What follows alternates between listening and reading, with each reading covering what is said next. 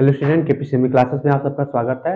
आज हम लोग प्रावैधिक कला की सीरीज़ में कोण के बारे में जानेंगे, ठीक है? तो सबसे पहले कोण की परिभाषा को देखते हैं, ठीक है? यदि दो सरल रेखाएँ एक बिंदु पर मिलती हैं तो उन रेखाओं के बीच के झुकाव को कोण कहते हैं। मान लीजिए हमने क्या, दो सरल रेखा खींच ली, ठीक है? और क्या कर रहे हैं? पहली सरल रेखा ये हमारी होगी दूसरी सरल रेखा ये हमारी ये हो गई, ठीक है? जो दूसरी सरल रेखा क्या हो रही है? एक दूसरे पर क्या हुई है? झुकी हुई है और क्या कर रही है? एक बिंदु पर मिल रही है। ठीक है? यही झुकाव ही हमारा क्या कहलाता है? कोण कहलाता है, ठीक है? तो उन रेखाओं के बीच के झुकाव को कोण कहते हैं, ठीक है? दो रेखाएँ हो गई हमारी, ठीक है? और यहाँ एक जो पहली रेखा है जो दूसरी, दोनों क्या है? एक दूसरे पर झुके हुए हैं, ठीक है? अगला हम देखते हैं कोण की भुजाएँ आर्म्स ऑफ़ एंगल क्या होता है, ठीक है?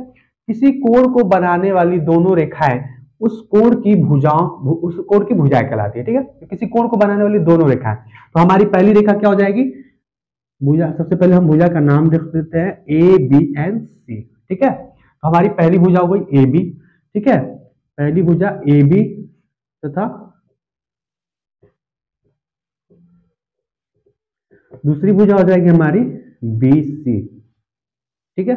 दूसरी भुजा हो जाएगी हमारी बी सी ठीक है? तो हमने भुजा के बारे में जान लिया, ठीक है? अगला है हमारा कोण का शीर्ष वॉटेक्स ऑफ़ एंगल किसी कोण को बनाने वाली दोनों रेखाएँ जिस बिंदु पर मिलती हैं, वह बिंदु उस कोण का शीर्ष या वर्टेक्स कहलाता है, ठीक है? तो हमारा वर्टेक्स क्या हो जाएगा?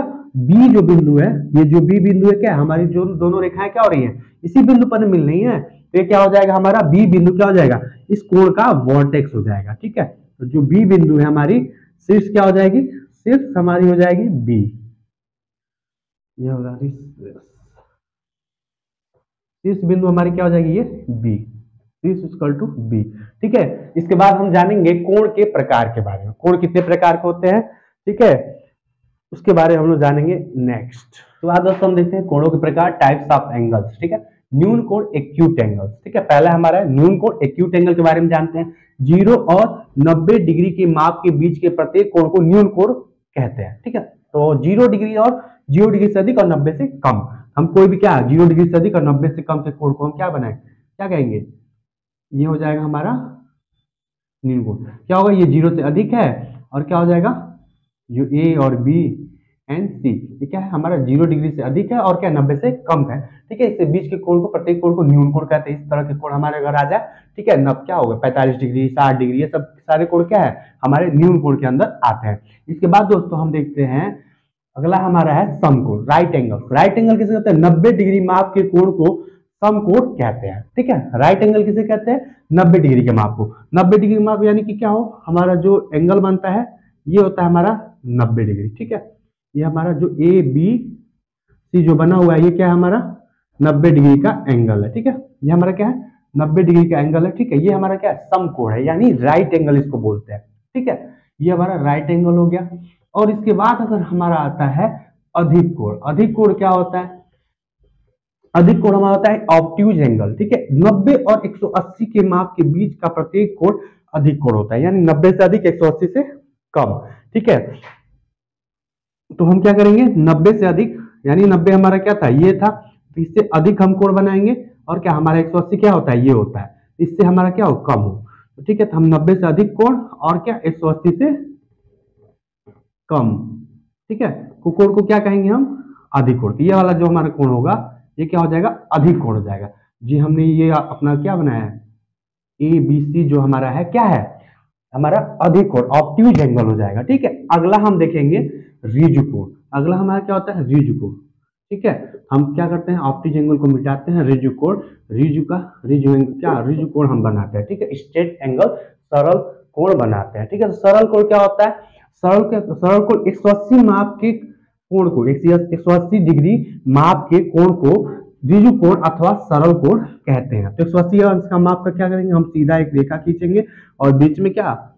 एक सिंपल सा चाप लगा देंगे, ठीक है? जो हमारा चाप हो गया, ये जो हमारा कोण होता है, ये हमारा होता है 180 डिग्री का, एक सौ अस्सी अंश का माप का क्या होता है? कोण होता है। इसे हम क्या कहते हैं? रिजु कोण अथवा सरल कोण या स्ट्रेट एंगल कहते हैं, यानी सीधी, सीधा कोण कहते हैं, ऐसे कह सकते हैं, ठीक है? अथवा या सरल कोण भी कह सकते हैं, ठीक है? अगला हमारा आता है वृहद कोण अथवा प्रत्यावर्ती कोण? इसको इंग्लिश में बोलते हैं रिफ्लेक्स एंगल ठीक है? 180 डिग्री और 360 अंश, एक सौ अस्सी अंश और 360 अंश के माप के बीच का प्रत्येक कोण वृहत कोण अथवा प्रत्यावर्ती कोण कहलाता है, ठीक है? 180 और 360 अंश के माप के बीच का कोण, ठीक है? वो क्या हो? 180 से क्या हो? अधिक हो, ठीक है? और क्या हो? 360 से ठीक है? ये ये सारा जो एंगल क्या है? ये हमारा जो एंगल है, क्या घूमते हुए अगर यहाँ तक आ जाता है, इससे पूरी तरह से घूमते हुए अगर यहाँ तक आता है तो क्या होता है? 360 डिग्री हो जाता है। क्या होता है? 360 डिग्री हो जाता है। ठीक है? तो अगर क्या है वो? हमारा 180 से अधिक चाहिए। तो हमारा 180 यहीं तक हो जा रहा है, हमारा 180 यहाँ तक हो जा रहा है उसके बाद 180 से अधिक चाहिए। 180 से अधिक और हमारा 360 से क्या होना चाहिए? कम होना चाहिए। ठीक है? 180 से अधिक और 360 से हम 360 डिग्री से 360 360 अंश से कम के कोण को क्या कहते हैं हम? वृहद कोण अथवा प्रत्यावर्ती कोण कहते हैं रिफ्लेक्स एंगल बोलते हैं, ठीक है? तो क्या होगा? कुछ इस प्रकार का कोण क्या होगा? हमारा कोई भी, अगर क्या हो, एक सौ से बड़ा हो और क्या हो 360 से कम हो, वो सारे कोण क्या कहलाएँगे? प्रत्यावर्ती अथवा बृहद कोण कहलाएँगे रिफ्लेक्स एंगल कहलाएँगे। यहाँ तो आसन्न कोण अथवा संलग्न कोण। कोणों को जानने के बाद हम लोग क्या, कुछ ये इंपॉर्टेंट कोण है, ठीक है एडजस्टेंट एंगल और वर्टिकली अपोजिट एंगल ठीक है? इन दोनों कोणों के बारे में हम लोग जानेंगे, ठीक है? तो सबसे पहले हमारे सबसे इंपॉर्टेंट है आसन्न कोण अथवा संलग्न कोण। इसके बारे में हम काफ़ी सारे मैथ्स के क्वेश्चन में भी ये सब चीज़ें आती हैं और हमारे ज्यामिति कला में भी वर्ड और क्या कहते हैं, प्रावैधिक कला में भी ये सारे क्वेश्चन आएँगे, ठीक है? तो इसको इसको हम देख लेते हैं ठीक है? तो दो कोण आसन्न कोण अथवा संलग्न कोण कहलाते हैं। यदि दो कोण क्या? आसन्न कोण अथवा संलग्न कोण कब होंगे? उनके लिए ये शर्तें क्या हो? पालन हो पा, पारित होनी चाहिए। सबसे पहला शर्त हमारा क्या है? दोनों कोण का शीर्ष उभयनिष्ठ हो। दोनों कोण का शीर्ष क्या हो? उभयनिष्ठ हो। देखिए हमारा क्या है? ये हमारा पहला कोण है दूसरा कोण है इसका जो शीर्ष है बी ये क्या है? उभयनिष्ठ है ठीक है? दोनों के लिए कामन है ठीक है? अगला क्या है? दोनों कोण की एक भुजा उभयनिष्ठ हो। तो देखिए दोनों कोण का हमारा क्या, एक भुजा। बी और सी जो भुजा है हमारी बी सी भुजा है, वो क्या है? उभयनिष्ठ है। बी और सी जो भुजा है हमारी, क्या है? दोनों कोण के लिए क्या है? उभयनिष्ठ है, यानी कॉमन है। ठीक है? दोनों कोण के अन्य दो भुजाएँ उभयनिष्ठ भुजा के क्रमशः दोनों ओर स्थित हो। ठीक है? दोनों कोण के अन्य भुजाएँ दोनों कोण के, इस कोण के, इस कोण के जो भुजाएँ हैं, दोनों भुजाएँ हैं, क्या हो रही है?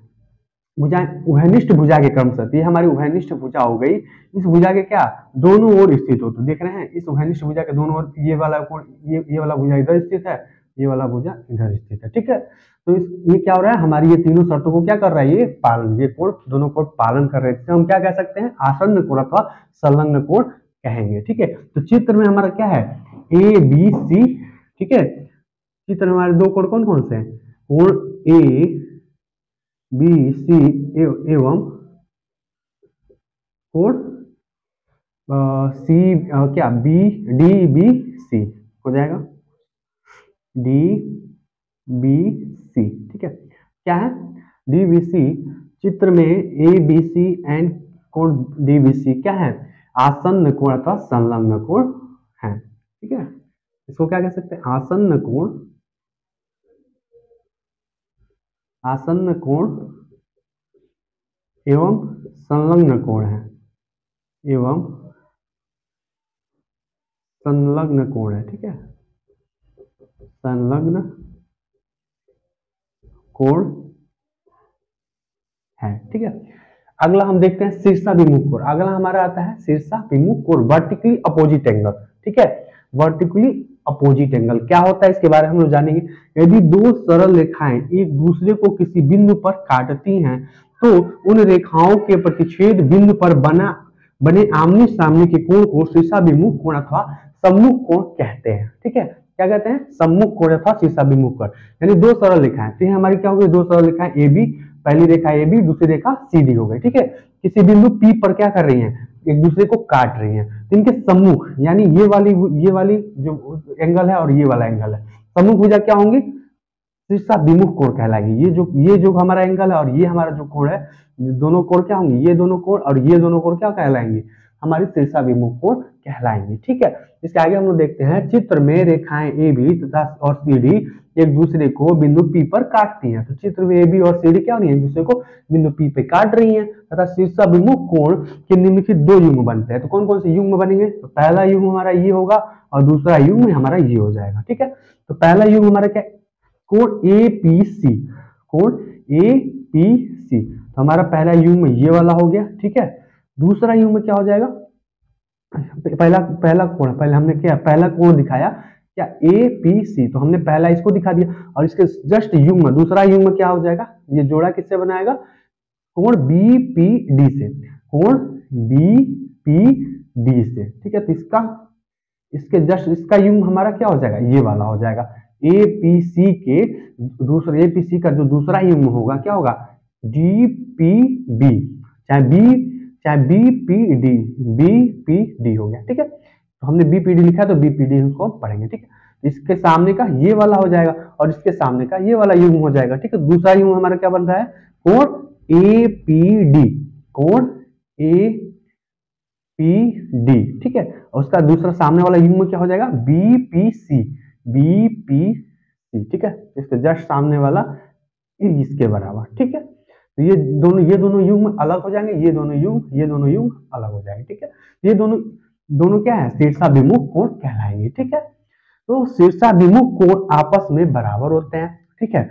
ये वाला शीर्षाभिमुख कोण इसके बराबर, ये वाला शीर्षाभिमुख कोण इसके बराबर इक्वल होगा। देखते हैं, कोण ए पी सी बराबर कोण बी पी डी तो कोण ए पी सी बराबर, कोण ए पी सी बराबर कोण बी पी डी ठीक है? ये हमारे ये वाला कोण इस वाले कोण के इक्वल हो जाएगा। ठीक है, अगला क्या हो जाएगा? कोण ए पी डी बराबर कोण ए पी डी बराबर कोण ए कोण बी पी सी कोण बी पी सी इसके इक्वल हो जाएगा। ठीक है तो हमारा शीर्षक बिंदु को हम लोग समझ चुके हैं। ठीक है, इसके आगे हम लोग देखते हैं, सबसे इंपॉर्टेंट इकाई है क्या? कोण की इकाई यूनिट ऑफ़ एंगल ठीक है यूनिट ऑफ़ एंगल क्या होता है? कोण मापने की इकाई को हम क्या कहते हैं? अंश, डिग्री से व्यक्त करते हैं, ठीक है? किससे व्यक्त करते हैं? डिग्री से। हम कोई भी एंगल लिखते हैं नाइनटी उसको हम क्या करते हैं? डिग्री से, या अंश इसको हिंदी में अंश कहते हैं, और इंग्लिश में क्या बोलते हैं? डिग्री बोलते हैं, ठीक है? नाइनटी डिग्री एंगल, ठीक है? चाहे क्या कर सकते हैं? नब्बे डिग्री, नब्बे अंश का कोण, ऐसे हिंदी में बोलते हैं, ठीक है? दोस्तों, यहाँ पर हमारा ये वीडियो समाप्त होता है, ठीक है? दोस्तों, धन्यवाद।